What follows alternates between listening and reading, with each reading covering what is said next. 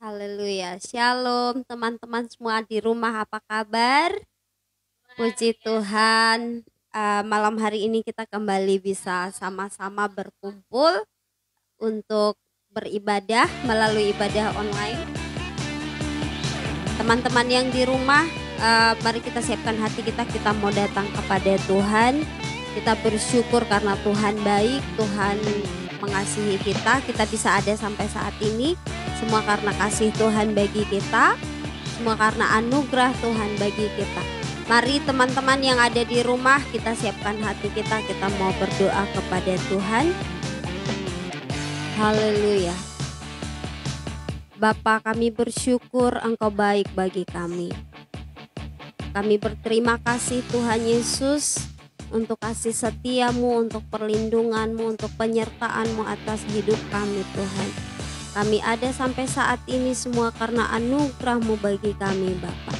Dan saat ini Bapa, kami rindu untuk menikmati hadiratmu, kami rindu untuk memuji menyembahmu. Roh Kudus engkau hadir di tengah-tengah kami dan engkau lawat setiap kami. Teman-teman yang ada di rumah yang mengikuti ibadah yud pada malam hari ini, Roh Kudus engkau ada di sana, engkau jamah setiap mereka.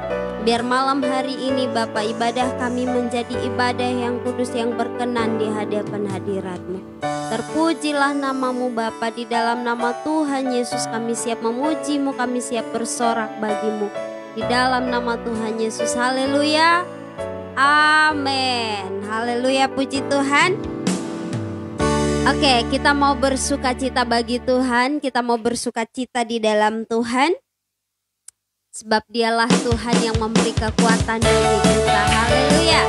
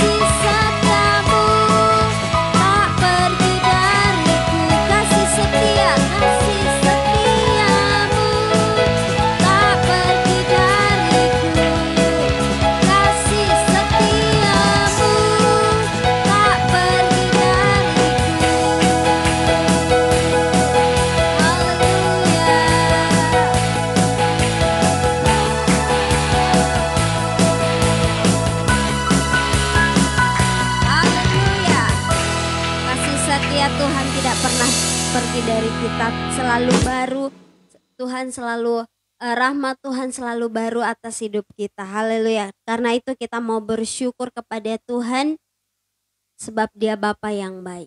Dengan apa? Kan kubalas semua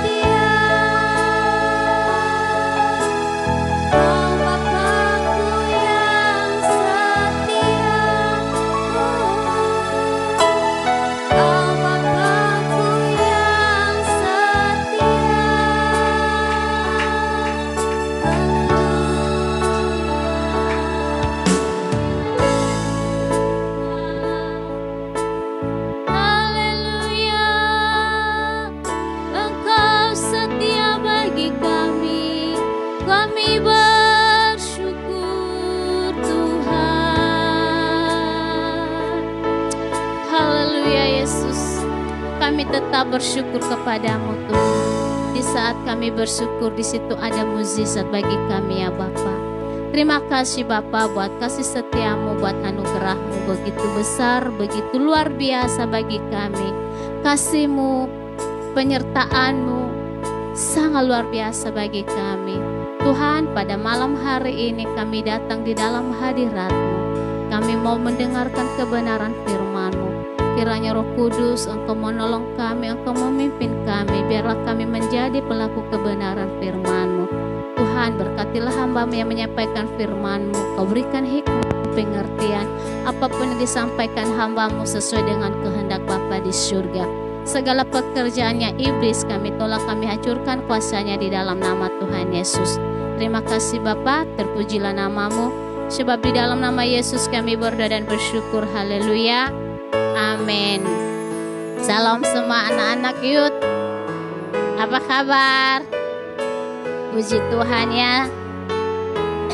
Sehat selalu. Kita selalu dalam penyertaan Tuhan. Kita selalu dalam perlindungan Tuhan. Tuhan selalu ada bersama kita. Amin. Tetap kita bersyukur ya kepada Tuhan. Doa dan harapan kami semuanya diberkati, semuanya dipulihkan, semuanya yang baik-baiknya Tuhan memberkati kita. Amin. Lah puji nama Tuhan pada malam hari ini kita mau sharing-sharing ke kebenaran firman Tuhan.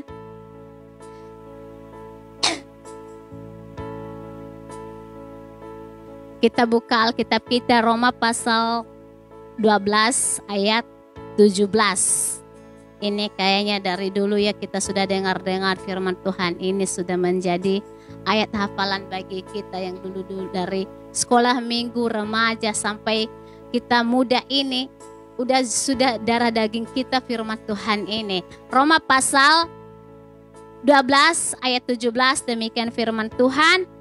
Janganlah balas kejahatan dengan kejahatan. Lakukan apa yang baik bagi semua orang. Kalau kita lihat dari perikopnya ini ya, nasihat nasihat untuk hidup dalam kasih ini perikopnya. Tapi judul yang saya sampaikan kepada pada malam hari ini judul renungan adalah jangan membalas kejahatan dengan kejahatan. Balaslah dengan kebaikan. Ini firman Tuhan tadilah jangan membalas kejahatan dengan kejahatan. Lakukanlah apa yang baik semua bagi semua orang. Kalau kita lihat dari 21. Janganlah kamu kalah terhadap kejahatan, tetapi kalahkanlah kejahatan dengan kebaikan. Ini yang sangat luar biasa. Pasti kalau kita dalam menjalani kehidupan ini tidak semuanya langkah yang kita tempuh mulus. Terkadang dalam membangun hubungan dengan orang lain, kita dihadapkan pada konflik atau perselisihan atau salah paham dan hal itu bisa terjadi kapan saja, di mana saja. Entah itu lingkungan rumah, sekolah, kantor, keluarga, teman, sahabat, atau orang tua kita atau saudara kita, kita tidak tahu. Mengapa itu terjadi? Karena tiap-tiap orang memiliki karakter yang berbeda-beda atau latar belakang yang berbeda-beda. Itu yang menyebabkan suatu masalah. Tidak ada kecocokan, salah pendapat, salah paham, timbul rasa kebencian, dimusuhi, disakiti, dikecewai, itu semuanya terjadi. Dimarahi, itu semuanya terjadi dalam kehidupan kita. Ketika kita disakiti atau dilukai, dibenci, dikecewai, apa yang harus kita lakukan? Tadi firman Tuhan kan sudah katakan kepada kita, jangan balas kejahatan dengan kejahatan. Tapi ketika kita disakiti atau dimarahi, dibenci, pasti di dalam hati ada rasa mau balas dendam, tidak bisa terima. timbul rasa, aduh, tunggu ya harimanya nanti pasti saya balas. Pasti, pasti itu timbul di dalam hati kita. Yang bukan salah kita contohnya kan. Kita difitnah. Kita diomongi. Apa yang timbul dalam hati kita? Pasti timbul rasa dendam atau juga marah. Emosi. Ketika kita dengar, pasti juga kita emosi. Apalagi kita tidak melakukan hal-hal yang mereka perbuat dengan kita. Pasti timbul itu di dalam pikiran kita, di dalam hati kita. Tapi firman Tuhan ini yang sangat luar biasa tekankan kepada kita pada malam hari ini. Jangan balas kejahatan dengan kejahatan. Balaslah dengan kebaikan. Wah, ini yang sangat luar biasa. Kalau kita pikir-pikir ya, lu sudah sakiti aku, Lu sudah kecewain aku, masih saya mengasihi kamu. Masih saya membalas ini dengan kebaikan. Itu timbul dalam pikiran kita. Tetapi kita percaya pada malam hari ini ketika kita mendengarkan firman Tuhan ini. Pasti ada hikmatnya. Kalau kita balas waktu orang marah dengan kita atau orang benci dengan kita, mengecewai kita atau menyakiti hati kita. Ketika waktu itu kita balas, api dengan api apa jadinya? Pasti hancur. Biarpun kita benar, biarpun dia salah, tetapi karena api dengan api hancur. Tidak bisa lagi kita kendala, kendalikan lagi pikiran kita. Makanya pada malam hari ini kita belajar bagaimana Tuhan Yesus waktu Tuhan Yesus dihina, waktu Tuhan Yesus diludahi, waktu Tuhan Yesus diolok, diejek, direndahkan, bahkan dimaki-maki, dihina, dipaku, bahkan disalibkan. Tuhan ada balas enggak? Sari Tuhan balas enggak? Tidak kan? Ini yang sangat luar biasa hanya Tuhan bilang begini. Tuhan lakukan dengan ini. Dia bilang begini. Bapa, ampunilah mereka. Karena mereka tidak tahu apa yang mereka katakan. Kita buktikan firman Tuhannya di Lukas. Tunggu, tunggu, bukan Lukas.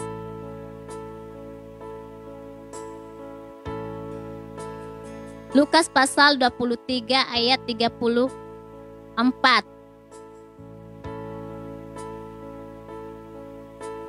Lukas pasal 23 ayat 34. Yesus berkata, Ya Bapa, ampunilah mereka sebab mereka tidak tahu apa yang mereka perbuat. Itu yang Tuhan Yesus lakukan. Tuhan berdoa kepada mereka. Tuhan memohon pengampunan bagi mereka. Tuhan memohon belas kasihan kepada mereka. Ini yang sangat luar biasa. Ini contoh yang luar biasa bagi kita pada malam hari ini. Bapa, ampunilah mereka. Padahal ini dia sudah disakiti. Dia sudah dihina. Dia sudah diolok, diejek. Tapi masih Tuhan Yesus katakan kepada Bapa, Bapa, ampunilah mereka karena mereka tidak tahu apa yang mereka lakukan. Wah, ini yang sangat luar biasa. Ini yang sangat luar biasa ya.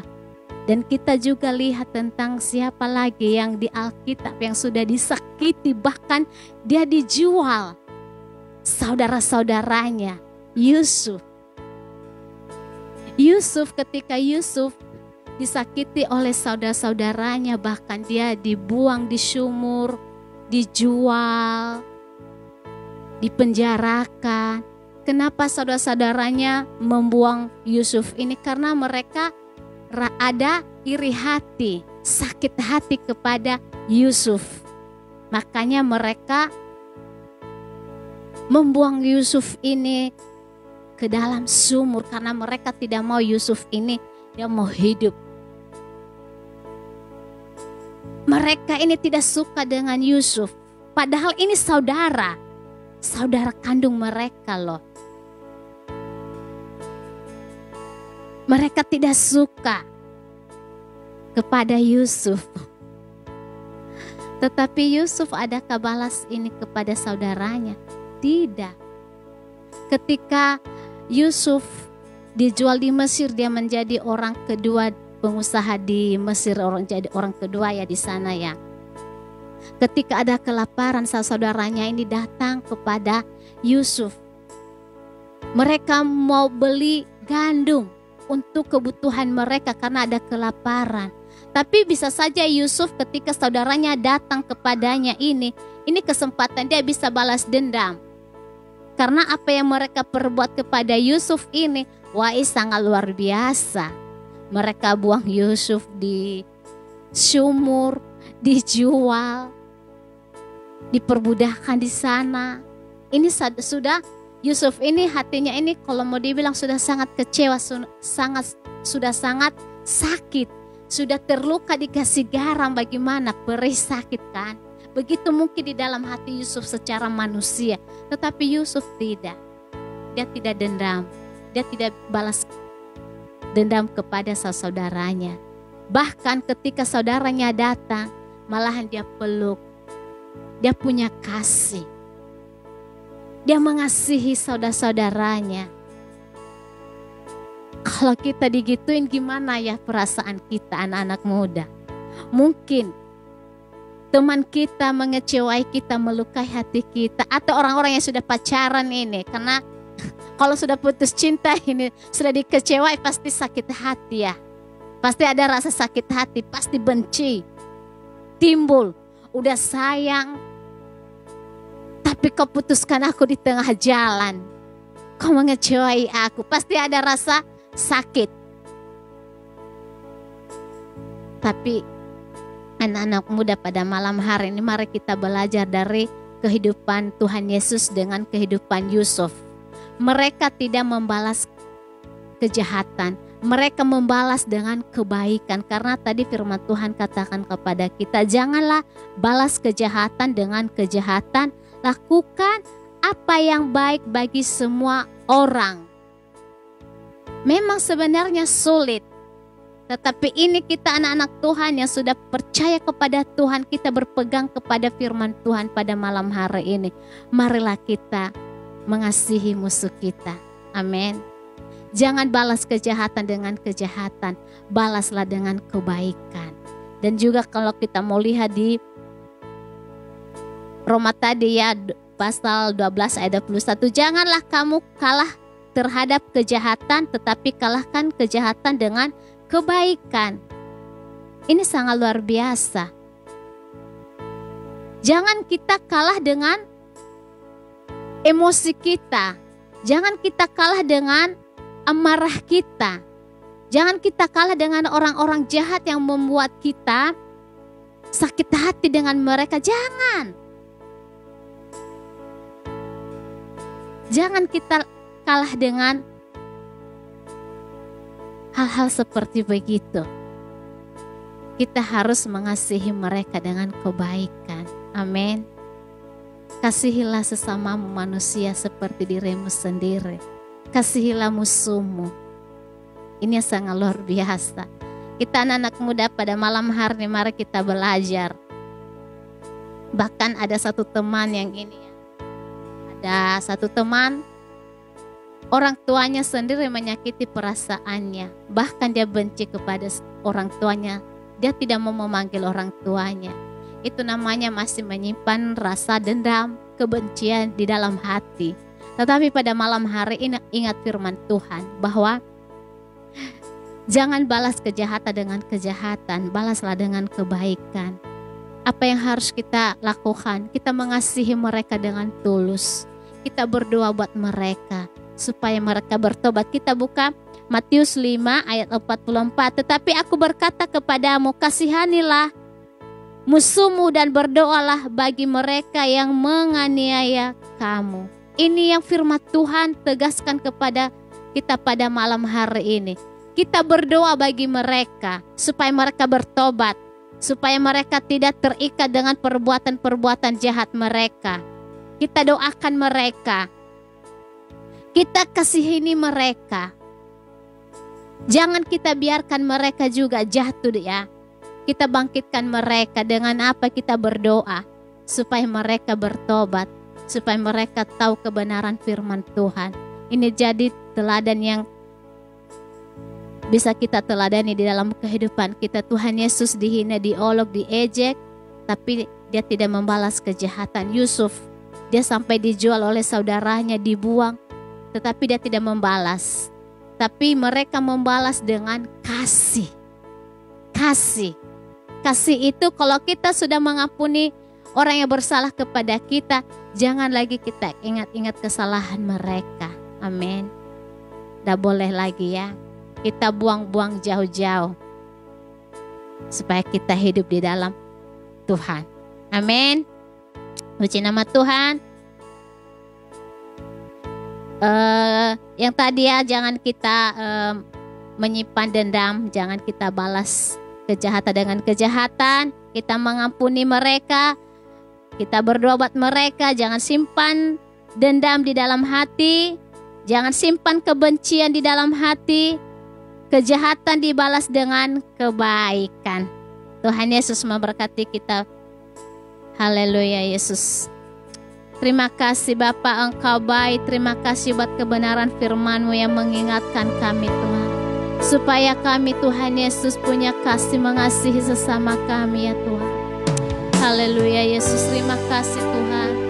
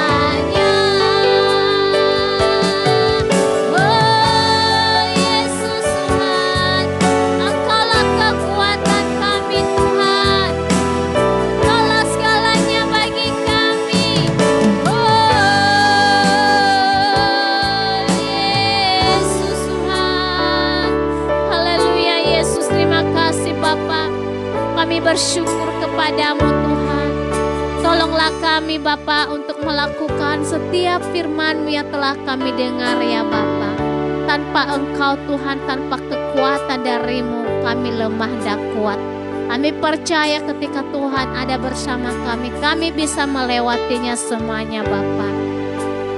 Tuhan kami berdoa juga buat anak-anak youth di mana pun mereka berada saat ini ya Bapak. Tuhan Engkau tahu isi hati mereka. Kalau mereka dalam keadaan sakit, Tuhan Engkau jamah mereka, Engkau sembuhkan mereka. Kalau mereka dalam ada persoalan masalah yang mereka hadapi saat ini, Tuhan Engkau memberikan mereka jawaban kelegaan kepada mereka ya Bapak. Yang masih kuliah ya Tuhan, Engkau mencukupkan kebutuhan keperluan mereka yang membutuhkan pekerjaan Tuhan Engkau sediakan bagi mereka. Yang membutuhkan jodoh Tuhan Engkau sediakan bagi mereka. Yang membutuhkan kendaraan Tuhan Engkau sediakan bagi mereka. Bapa Engkau memberkati anak-anakmu ini ya Tuhan Engkau memakai hidup mereka ya Tuhan untuk memuji dan memuliakan Engkau ya Bapa. Apa pun yang mereka kerjakan Tuhan Engkau membuat mereka berhasil ya Bapa. Biarlah firman Tuhan ini ya Bapa menjadi kekuatan kami ya Tuhan. Agar kami mengasihi musuh kami agar kami tidak membalas kejahatan dengan kejahatan. Kami membalasnya dengan kasih, dengan kebaikan. Tolonglah kami Tolong kami di dalam nama Tuhan Yesus. Terima kasih Bapa, terpujilah Engkau ya Bapa. Sebab di dalam nama Yesus kami berdoa dan bersyukur kepadamu Bapa. Haleluya, kiranya Tuhan memberkati kami. Haleluya, Yesus Tuhan. Oh. Haleluya, Yesus. Kiranya Tuhan memberkati kami dan berlimpah-limpah ya Tuhan. Dan memperluas daerah kami. Terima kasih Yesus.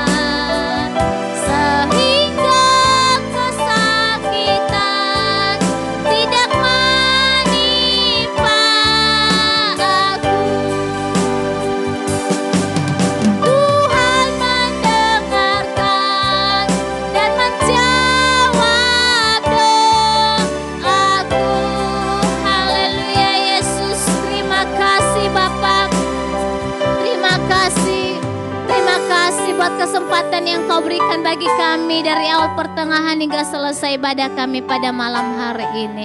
Terima kasih buat kasih setiamu ya Tuhan. Terpujilah namamu, sebab di dalam nama Tuhan Yesus kami berdoa dan bersyukur. Haleluya. Amin. Salam semua anak-anak muda.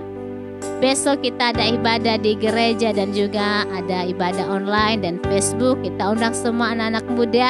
Kita hadir ya. Kalau nggak bisa datang di gereja bisa ikuti ibadah online. Tuhan Yesus memberkati kita semuanya. Shalom.